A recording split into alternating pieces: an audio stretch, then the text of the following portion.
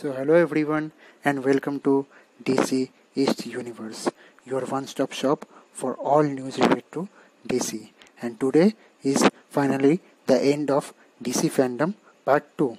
And after today's fandom, the full fandom for this year is over, and we can proudly say that DC and Warner Bros. and AT&T has put forward their best foot, and this fandom has turned out to be one of the biggest thing in DC's history. Not only comics, not only TV series, but also including all the movies. DCU have now gained a huge boost and DC has put forward a giant leap towards the popularity they always needed.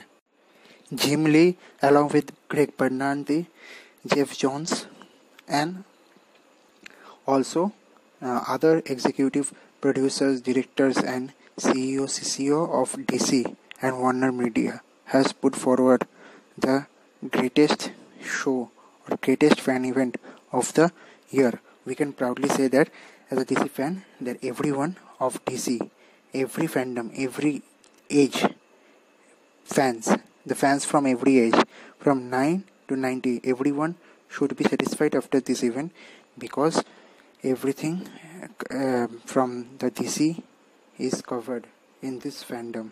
We have all the panels, including the TV shows, the pilot shows, the inside verse, the inside look, how it is being shot, how the music is, uh, has been composed, what was the concept behind the VFX shots, how the challenge was at that time, and we can also see that there are some greatest reveals like Young Justice Phantoms and also renewal of other shows like Harley Quinns for season 3 and Lucifer for season 6.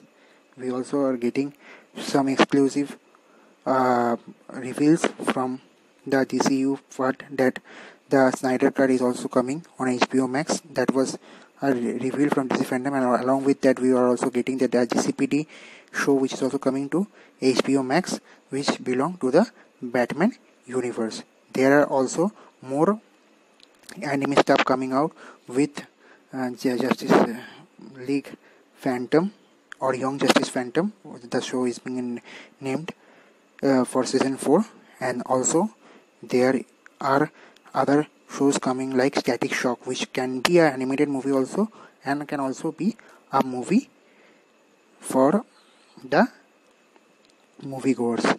And there will also be a um, uh, spin-off movie, the spin-off movie on the Amazonians, and we can also see that Flash season 7 is also coming back on 2021. We are also getting the shows like Pennyworth and uh, Doom Patrol is also being revealed or renewed for HBO Max for season 3 Stargirl is also coming for season 2 and we can also expect, expect Joker Jared Leto Joker to come back to face Batman Ben version of Batman eh, for a HBO Max series where Joker and Joe Manganiello's Deathstroke and Batman, Batman will be together.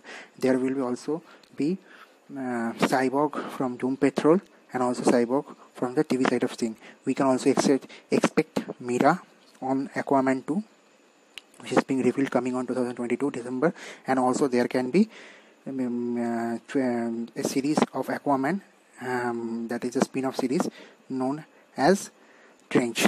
And we can also expect huge movies from Warner Bros like the Batman and Black Adam featuring all those superstar Robert Pattinson and and uh, uh, and uh, Dwayne Johnson. And there is also the Flash movie Flashpoint movie coming up where we will have Jeffrey Dean Morgan Thomas Wayne playing the Batman at Flashpoint and Martha Wayne will be the Joker. Um, she will play the Joker in that Flashpoint Batman timeline. So all in all everything there are lots and lots of lots and more reveals from DC fandom. To check them more to check the whole schedule and reveals from DC fandom and all the news, you should visit www.dcfandom.com in order to get all the exclusive news because all the contents all the things are there on the sixth island. The kidverse YouVerse um, dc YouVerse dc kidverse hall of heroes and the fourth one is uh, inside verse and then fifth one is watch verse and sixth one is fun verse. So i hope everyone is very satisfied after this event we also got some of the reveal of the upcoming com- comics and the date of release of those comics when those are comics are coming. So all in all this event was a f- whole dc family event and they have named it perfectly explored the multiverse because everything from all the time zone on the timeline are now being connected in, in a single continuity of multiverse.